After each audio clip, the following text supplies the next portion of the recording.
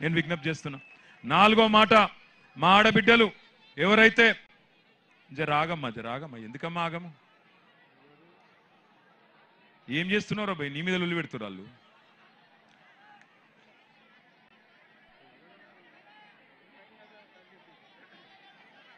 ఆ? అనే కొత్త కార్యక్రమం చాలా అవుతుంది. పద్దెనిమిదేళ్ళు నిండిన మహిళలందరికీ పద్దెనిమిదేళ్ళు నిండిన మహిళలందరికీ ఇవాళ బోనం ఎత్తి బతుకమ్మలు తీసుకొచ్చి మాకు స్వాగతం చెప్పిన ఆడబిడ్డలందరికీ మంచి శుభవార్త. నెలకు మూడు వేల రూపాయలు మీ ఖాతాల్లో కూడా వేయడం జరుగుతుందని చెప్పి కూడా నేను తెలియజేస్తా ఉన్నా. దాంతోపాటు తెల్ల కారట్ ఉండే ప్రతి కుటుంబానికి భూమి ఉన్నా లేకపోయినా ఇదివరకు భూమి ఉన్నోళ్ళకు వ్యవసాయ భూమి ఉంటే రైతు బీమా ఉంటుండే.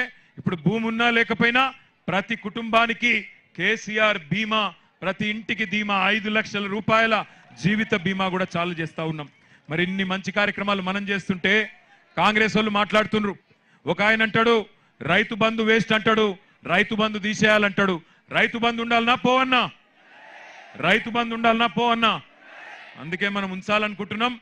పదివేల రూపాయలు పదహారు వేల రూపాయలు చేయబోతా ఉన్నాం రైతు బంధులో. మళ్ళా కేసీఆర్ గారు మూడోసారి ముఖ్యమంత్రి కాగానే.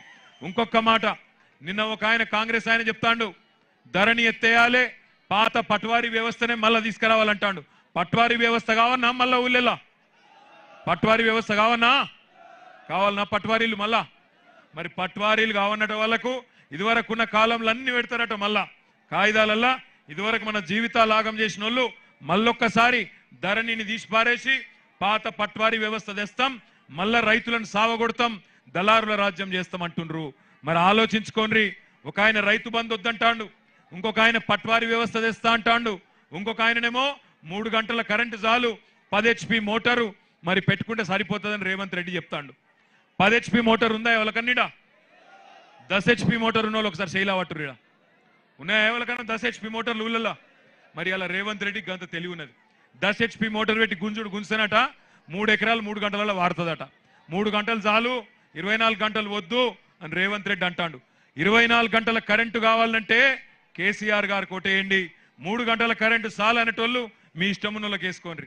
అదే విధంగా పదహారు వేల రైతు బంధు కావాలనేటోళ్ళు రైతు బంధు ఉండాలనేటోళ్ళు కేసీఆర్ గారు కొట్టేయండి పట్వారీ వ్యవస్థ వద్దు పట్వారీ వ్యవస్థ వద్దు ధరణి ముద్దు అనేటోళ్ళు మాకు ఓటేయండి.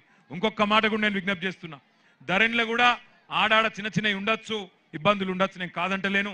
పురాగ మంచి